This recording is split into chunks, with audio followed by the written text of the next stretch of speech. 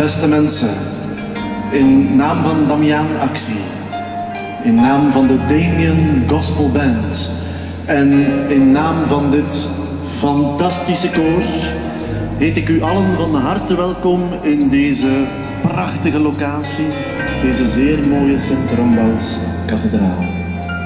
Vandaag sluiten wij met u een kleine tournee door Vlaanderen af. Vorige week waren we op vrijdag te gast in het Lemmes Instituut. Daarna trokken we op zaterdag naar Gent en op zondag waren we in Kortrijk aanwezig.